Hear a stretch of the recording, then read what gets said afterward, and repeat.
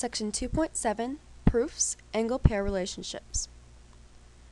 In this section, we're going to be working on some important proofs of theorems. Now remember, a theorem is a statement that we can prove, and then once we have proved it, we can use that theorem as a justification or a reason in a future proof. In order to prove these theorems, you need, do need to make sure that you remember the following definition. Right angles, remember right angles are angles that whose measure, measure equals 90 degrees. Complementary angles are angles whose measures add to 90 degrees. Supplementary angles are angles whose measures add to 180 degrees.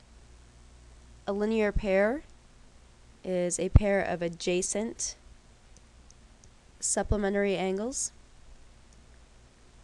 And vertical angles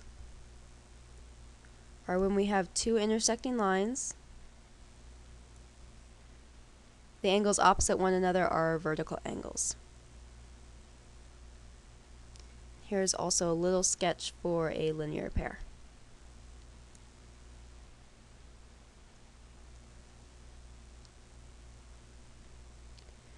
Now we'll be working through proving the relationships between these angles in class, but you will also need to know some practice computation problems.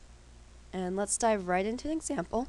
In example 1, I want you to find the values of x and y, and then find the measure of each angle. Go ahead, work through this on your own, pause the video, and resume when you're ready. First thing, we want to look at our diagram. We should notice that we have our variable x, and then we also have our y. The x's are located in the two angles that are vertical one another. And we know from talking about this quite extensively in class that vertical angles are congruent, which means we can set their measures equal to one another. Distribute the two. Subtract 6x from both sides.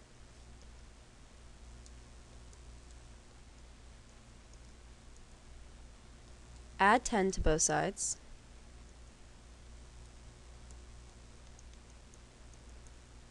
And then divide by 4. We should find that x equals 15. We can go through a similar process for y. And notice we do not need to write that x equals 15 degrees because it's not a degree. It's simply a value within this chunk that is the degree.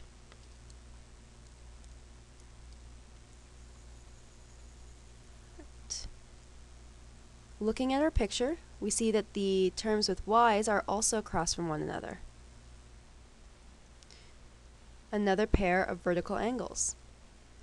We set vertical angles congruent, which means their measures are equal to one another, and solve. Subtract 5y from both sides.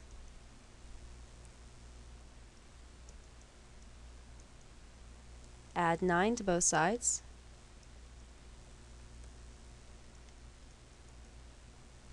Divide by 2.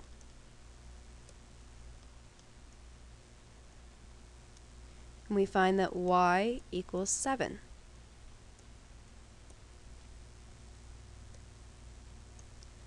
Lastly, the question asks us to find the measure of each angle. To do that, we simply substitute these values back in. Let's go ahead and substitute 7 for y into our right angle.